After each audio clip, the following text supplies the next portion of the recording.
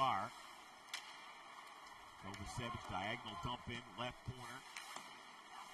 Puck won there by Pitlick in front. They score! Rem Pitlick, what a feed to Denis Gurianov. And there's that goal, Sergio. And Montreal, they're back in it now.